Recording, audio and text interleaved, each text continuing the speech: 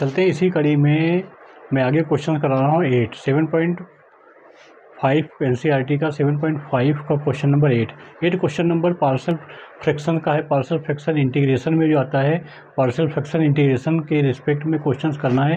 Questions कह रहा है integration x d x upon x minus one का होल स्क्वायर ब्रैकेट में एक्स प्लस टू इसका आपको इंटीग्रेशन करना है। इंटीग्रेशन करने के लिए पहले आपको पार्सल फ्रैक्शन में इसको तोड़ना होता है। हमने बताया कैसे तोड़ते हैं, उसी प्रकार से तोड़ते हैं। देखते रहिए। ठीक, यहाँ पे हमने क्या किया? इसको तोड़ना है। लिखेंगे लेट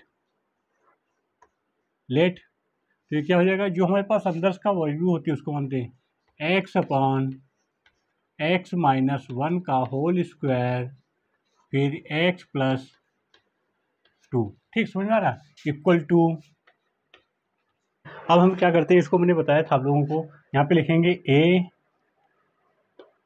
अपॉन ये नंबर एक्स माइनस वन ठीक plus B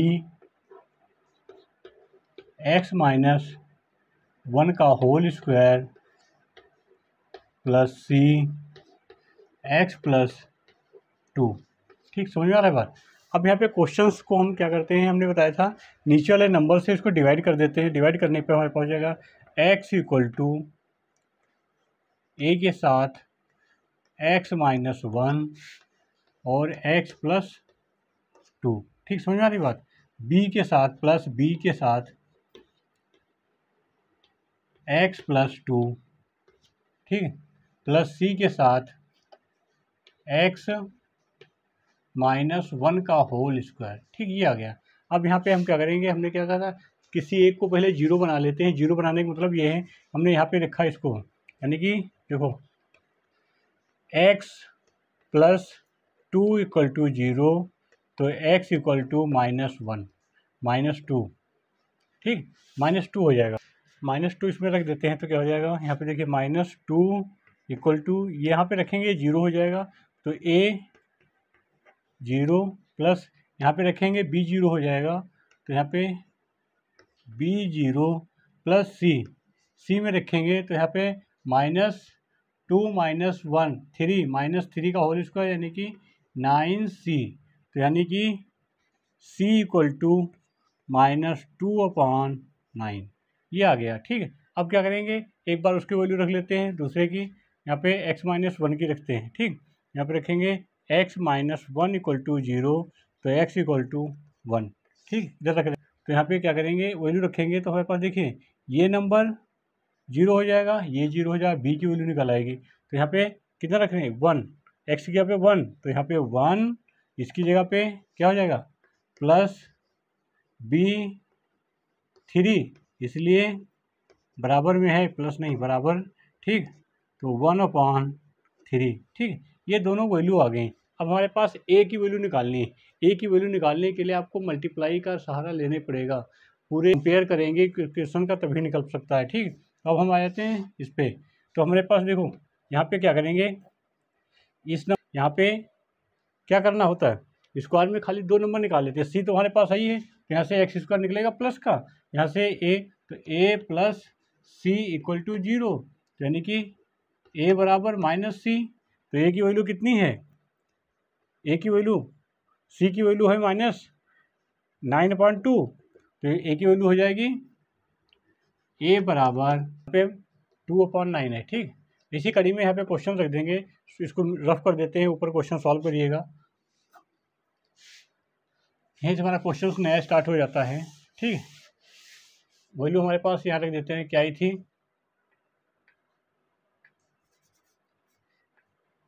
A equal to minus two upon nine B equal to one upon three C equal to two upon nine ठीक, यही देते हैं इंटीग्रेशन में। तो क्या हो जाएगा? यहाँ पे रखेंगे तो ये क्वेश्चन बन जाएगा हमारे पास। Minus two upon nine bracket में x minus one plus one by three bracket में one upon x minus one का होल स्क्वायर ठीक है? अगला बन जाएगा माइनस नहीं plus two upon nine one upon x plus three two sorry ठीक है? ये कर देंगे, इसको सॉल्व कर देंगे इंटीग्रेशन करेंगे तो इसका integration integration minus two upon nine बाहर आ गया तो यहाँ पे one upon x one upon x का सीधे वन अपॉन एक्स का लॉग मॉड एक्स ठीक है? Mod x plus one by three इसका होल स्क्वायर यानी कि टी मान के टी मानेंगे, ऊपर जाएगा minus one log x square का। तो यहाँ पे माइनस इधर तो क्या हो जाएगा? One upon x minus one ठीक, ये हो जाएगा, ध्यान रखिएगा। प्लस इस वाले का two upon nine mod x plus two plus C. Direct मैंने कर दिया, ध्यान रखिएगा, क्वेश्चन सॉल्व करिएगा। अच्छा क्वेश्चन है, आप लोग नहीं समझ में आएगा, पूछिएगा, आगे देखिएगा मेरी वीडियो, ध्यान रखिएगा, धन्यवाद। पार्ट इंटीग्रेशन का क्वेश्चन नंबर नाइन करा रहा हूँ। Nine question number very most important question है, जिसमें फैक्टर्स करने हैं आपको। फैक्टर्स दिए हैं, नहीं है। फैक्टर्स करने, सबसे पहले इसके फैक्टर्स करने आपको। क्वेश्चन कह रहा है, nine integration three x plus five bracket बंद d x upon x cube minus x square minus x plus one. तो इसके हमें फैक्टर करने हैं। फैक्टर करने के बाद ए बी लगाएँगे, ए बी सी वाला, ठीक तो सबसे पहले हम क्वेश्चन को ऐसे लिखते हैं, ठीक? लेट करके लिख लेते हैं, कोई नहीं। Let three x plus five ठीक है? अपॉन इस वाले में एक्स कॉमन ले लिया x square x square common लेने पर एक्स माइनस वन बच जा रहा है। सेकंड में प्लस सेकेंड में माइनस वन कॉमन ले लेते हैं तो क्या बचेगा एक्स माइनस वन। ठीक है? अब यहाँ पे इसी को हम ऐसे लिख, ठीक है? यहाँ पे हम क्वेश्चंस को नीचे फिर उतार लेते हैं इसे। Three x square, x plus five, नीचे इसको लिया। एक्स माइनस वन, फिर एक्स स्क्वायर माइनस वन। ठीक है? अब इसको फिर से हम फैक्टराइजेशन कर देते हैं कैसे? Three x plus five upon x minus one x plus one x minus one ठीक, एक बार प्लस माइनस अब देखिए, ये स्क्वायर हो जाएगा, क्या हो जाएगा यहाँ पे देखिए? Three x plus five upon x plus one फिर एक्स माइनस वन का होल स्क्वायर ठीक, ये बन गया। अब यहाँ पे ये बनने के बाद, ये क्वेश्चन प्रॉपर बनने के बाद इसमें ए प्लस बी लगा देते हैं। तो यहाँ पे हम क्वेश्चन लिख देते हैं three three x plus five upon x plus one, फिर एक्स माइनस वन का होल स्क्वायर, ठीक है? इक्वल टू क्या हो जाता है? इक्वल टू हो जाता है A upon x plus one. समझ आ रही ठीक, यहाँ पे क्वेश्चन सॉल्व करते हैं, A upon x plus one. Plus square है तो यहाँ पे B B upon x minus one plus C upon x minus one का होल स्क्वायर। समझ आ रही बात? आगे चलते हैं। अब ये क्वेश्चन हमारे पास हो गया। अभी तो हम क्वेश्चंस का प्रूफ तैयार कर रहे हैं क्वेश्चंस को तैयार कर रहे हैं क्वेश्चंस को कैसे करना है? अभी सॉल्व करने की तरीका नहीं क्वेश्चंस को तैयार करना है, ठीक है? जैसे आप बिल्डिंग बनाते हैं बिल्डिंग बनाने में न्यू वो सब भरते हैं, ऐसे बिल्डिंग बना रहे हैं अभी तो ठीक है? अब हमें क्या करना है? हमने कहा था नीचे वाले नंबर से डिनोमिनेटर से पूरे को मल्टीप्लाई कर देंगे। मल्टीप्लाई करेंगे तो ये नंबर गायब हो जाएगा, क्या बचेगा यहाँ पे? Three x plus five equal to इस नंबर को मल्टीप्लाई करेंगे तो क्या बचेगा? ए के पास यहाँ पे एक प्लस है तो माइनस का बच जाएगा पूरा, माइनस वन का होल स्क्वायर। ठीक है, फिर प्लस बी के साथ में एक्स प्लस वन और एक्स माइनस वन दोनों बचेंगे। सी के साथ में एक्स प्लस वन। ठीक, ये बचेगा। ये हो गया। अब हमें क्या क्या निकालना है? वैल्यू निकालनी ए बी सी की।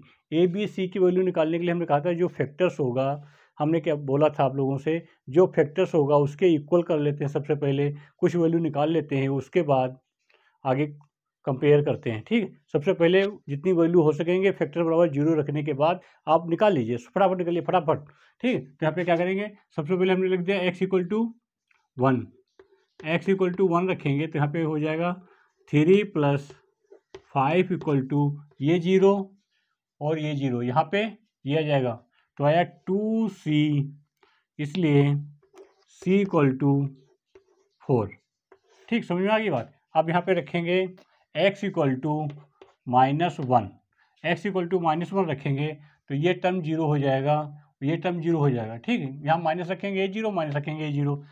कैसे ज़ीरो होता है? हमने बताया आप लोगों को, हमने प्रॉपर क्वेश्चन एक दो कराए हैं, जब ज़ीरो रखते हैं, कैसे ज़ीरो हो जाता है, वो समझिए आप लोग। नहीं तो फिर बड़ी प्रॉब्लम हो जाएगी क्वेश्चन बहुत लेंथी हो जाएँगे, बहुत टाइम टाइम टेकिंग क्वेश्चन हो जाएँगे। टाइम टेकिंग क्वेश्चन नहीं करना, आपको टाइम सेव करना है, ठीक? इसलिए क्वेश्चन को डायरेक्ट करना को ठीक? तो यहाँ पे हमने रखा, यहाँ पे रखेंगे तो यहाँ पे क्या हो जाएगा? Minus three plus five equal to देखिए माइनस वन रखेंगे तो ये minus one minus one minus two हो जाएगा, ये ज़ीरो ये ज़ीरो तो यहाँ पे हुआ टू का होल स्क्वायर फोर ए।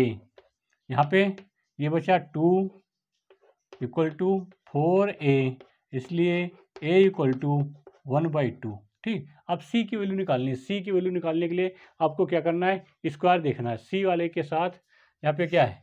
हमारी वैल्यू किसकी निकालनी बी की रहेगी।